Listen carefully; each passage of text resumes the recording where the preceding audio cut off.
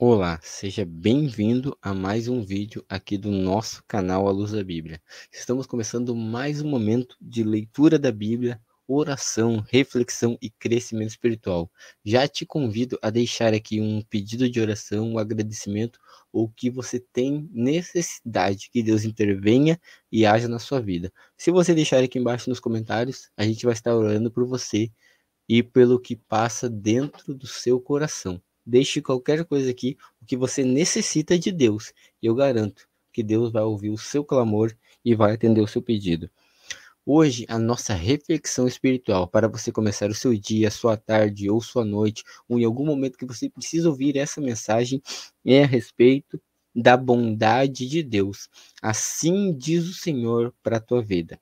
Deus hoje quer dizer para você como as coisas com Deus funcionam, como o relacionamento, como tudo que Deus faz é bom, tem um projeto, um plano, tem algo por trás que Deus vê na nossa vida, ou que Deus te olha de uma forma especial, que os projetos que Deus tem feito, os sonhos que ele tem para ti, o que ele vai realizar a curto, médio e longo prazo, são coisas muito amplas, coisas que a gente não consegue descrever, mas que pela misericórdia a bondade de Deus a gente pode vislumbrar. E a gente tem certeza que não é um dia aleatório, não é um momento, não é um altos e baixos que vão definir o nosso futuro, mas Deus tem sim hoje convidado você a acreditar que ele dirige teus passos e que o projeto de Deus é muito grande e as perspectivas de futuro são incríveis e Deus quer dizer para você, justamente através dos Salmos 34, versículo 1 até o versículo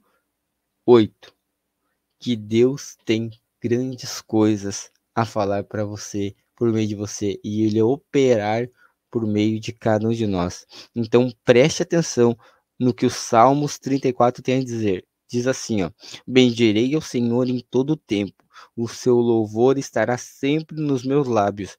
A minha alma se gloriará no Senhor. Os humildes ouvirão isso e se alegrarão. Louvem comigo a grandeza do Senhor, e todos juntos exaltemos o nome.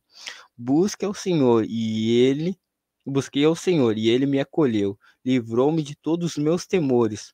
Os que olharam para ele ficaram radiantes. O rosto dele já não se cobria de vexame. Versículo 6 clamou este aflito. Aqui Davi falando. E o Senhor o ouviu, o livrou de todas as angústias.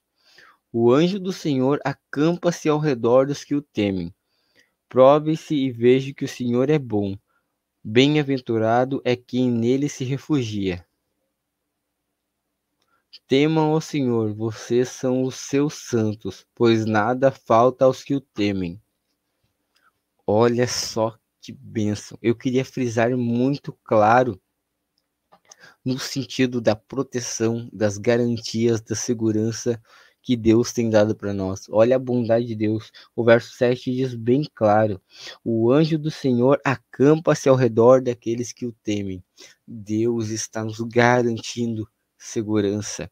Deus assim diz que ele tem nos protegido, que ele tem vislumbrado um futuro incrível para cada um de nós, que Deus tem guiado da gente em momentos difíceis, que Deus é literalmente por nós. Quando o salmista Davi fala a partir do verso 1 que bendirei o nome do Senhor, que traduzindo se cantarei, falarei, uh, elogiarei, eu ficarei alegre quando eu ouvir falar de Deus. É uma presença genuína de entendendo que quando Deus entra na vida da gente, as coisas se renovam, tudo muda, tudo melhora.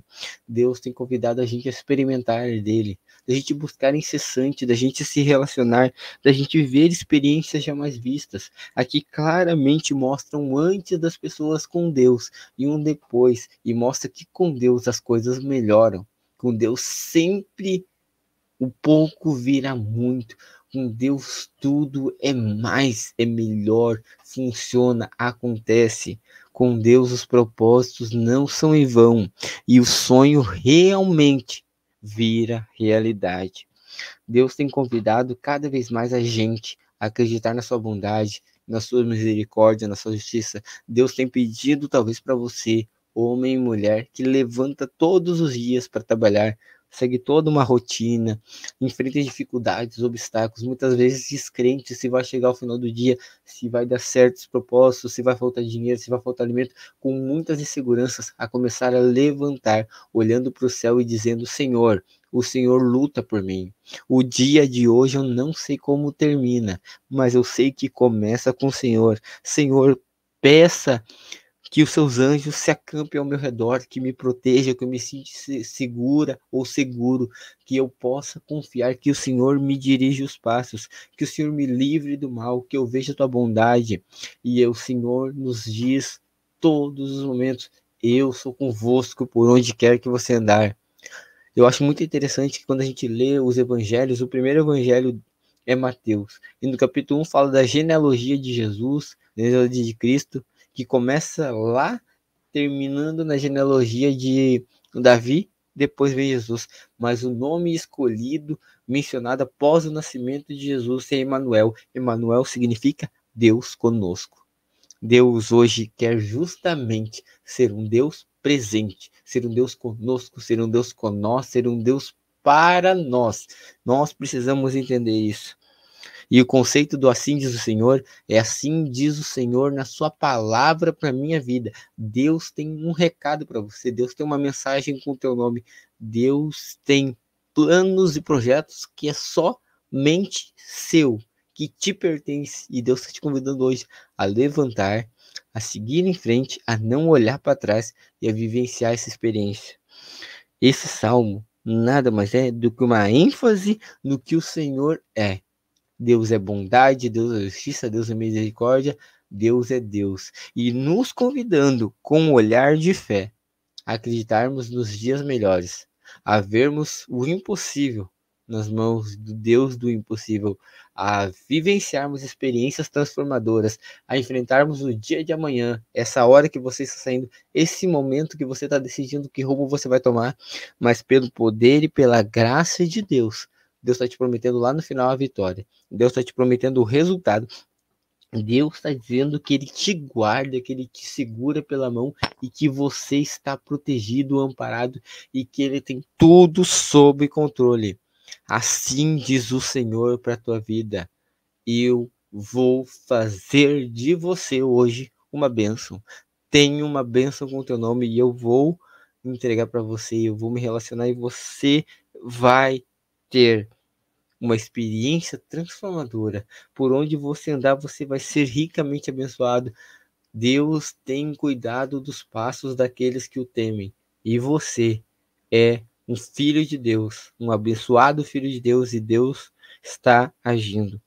Deus quer, para finalizar, nos incentivar a buscar a Deus em todo momento, a provar do que Deus é capaz de fazer e a viver essa experiência real, colocando Deus como Deus. E eu garanto a você, os resultados o que é para acontecer na tua vida, a tua história, a direção, o teu momento, o que você está vivendo vai ser totalmente novo. Permita-se experimentar Deus e você verá um Deus que você jamais imaginou, mas você verá Deus como você nunca viu e Deus sendo Deus. Queria convidar você nesse momento a se apegar justamente nessa promessa, no assim diz o Senhor para a tua vida, e fazendo essa oração por os pedidos, pelo que passa no seu coração, podermos entregar tudo nas mãos de Deus, para que Deus possa literalmente abençoar os passos que você der, a direção da sua vida, os rumos que você tomar, entendendo que é Deus que cuida de tudo e o teu futuro está nas mãos dele. Vamos orar? Senhor Deus, Pai querido, Pai amado, obrigado, Senhor, porque a tua palavra é justo e fiel, porque o teu servo, a tua serva que ouve essa verdade, vai vivenciar uma experiência totalmente nova. Nos ajude, Senhor, a vivermos o assim do Senhor, a vivermos o teu propósito, a vivermos o teu sonho. Obrigado, porque na tua palavra mostra o teu caráter, mostra a tua bondade, que nós possamos aceitar a tua misericórdia, que o Senhor haja por meio de nós e que a gente viva essa experiência. Seja, Senhor, hoje o nosso Deus e nós somos o teu filho e nos dê a tua grande bênção Ao despedir-nos nesse momento, eu clamo pelo nome de Jesus. Amém. Que Deus abençoe você, que essa palavra seja verdade na tua vida e que você tenha inúmeras experiências transformadoras com Deus, porque assim diz o Senhor, e o que ele diz, ele cumpre e ele faz. Amém?